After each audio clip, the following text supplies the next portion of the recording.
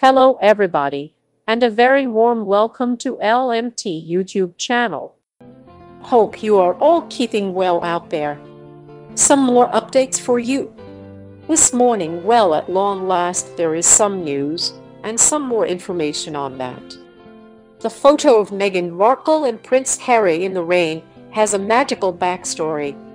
When Prince Harry and Meghan, Duchess of Sussex announced they were resigning as senior working members of the British royal family, it came as a shock to everyone, including the royals.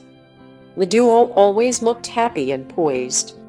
Despite the tabloids and think pieces picking them apart, they never wavered.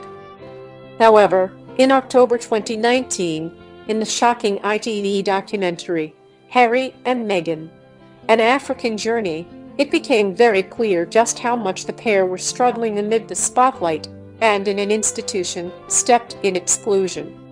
Still, the Sussexes have refused to allow trolls and naysayers to deter them from a peaceful life away from the firm. In fact, they absolutely dazzled during their press round for their final royal engagements. Inside Meghan Markle and Prince Harry's new life.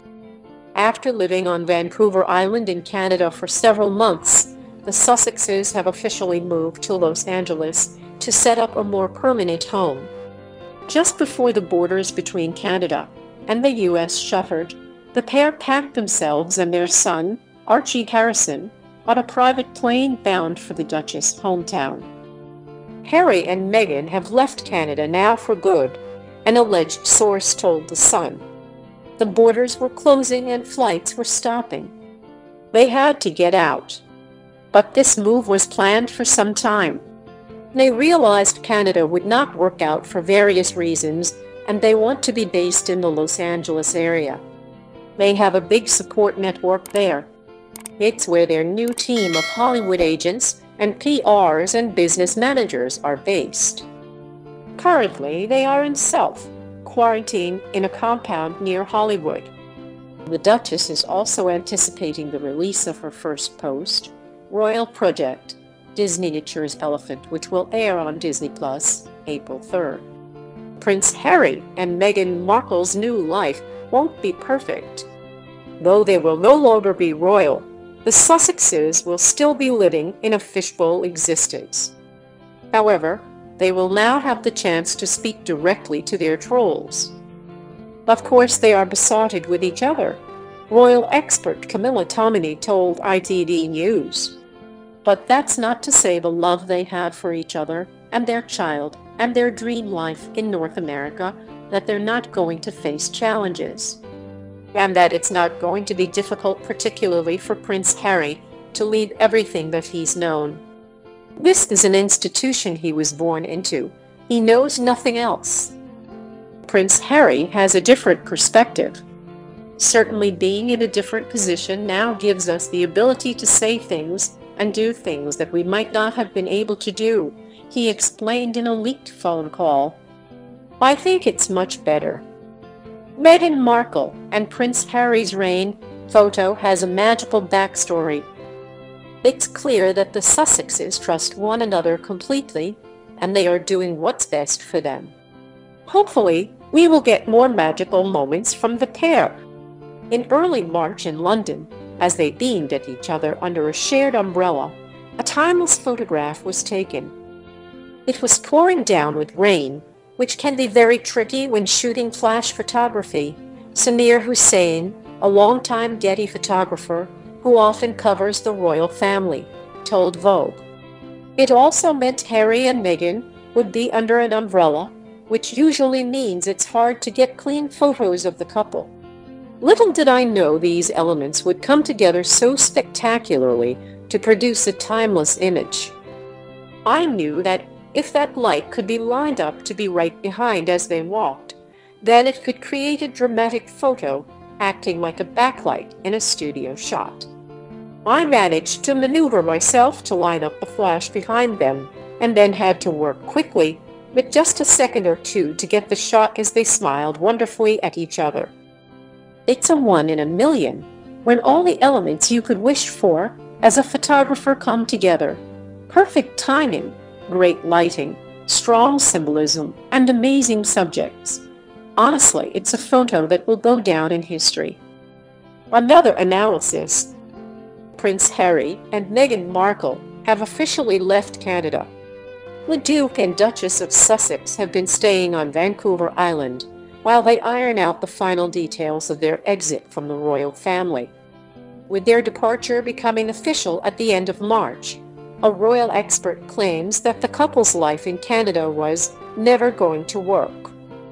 Why did the Duke and Duchess of Sussex choose Los Angeles? There are plenty of reasons why Prince Harry and Meghan decided to set up a base in Los Angeles. For starters, Meghan grew up in the city and her mother, Doria Ragland, lives in the area. Los Angeles also offers a better opportunity for the Sussexes to grow their brand. The two are looking to become financially independent from the crown and will need a substantial source of income to fund their various ventures. In a way, it's exchanging one goldfish bowl for another, but it's a city where Meghan has deep personal and professional connections.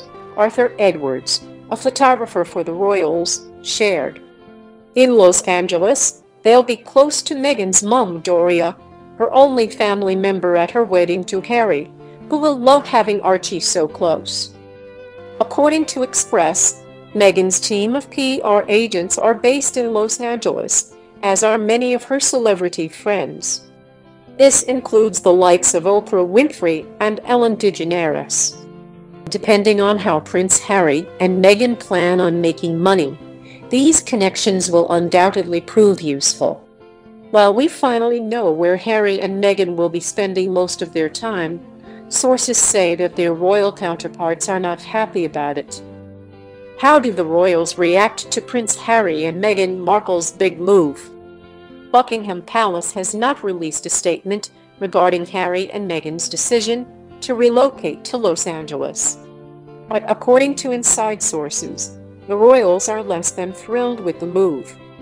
Following Charles' health scare, many experts believed that Harry might return to the UK in a show of unity for the monarchy. After all, the royals are already short-handed as it is and could use the extra support. Meghan and Harry hire a new staff member. While Prince Harry and Meghan are in lockdown, Page Six is reporting that they have hired a new staffer to lead their charitable endeavors.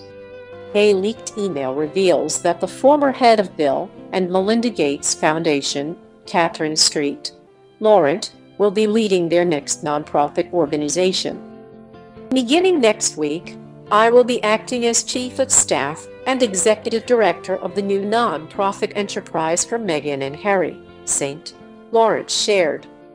They are embarking on a new chapter themselves, and I am thrilled to be able to play a supporting role in realizing their vision and enabling them to achieve impact on the issues that matter most to them.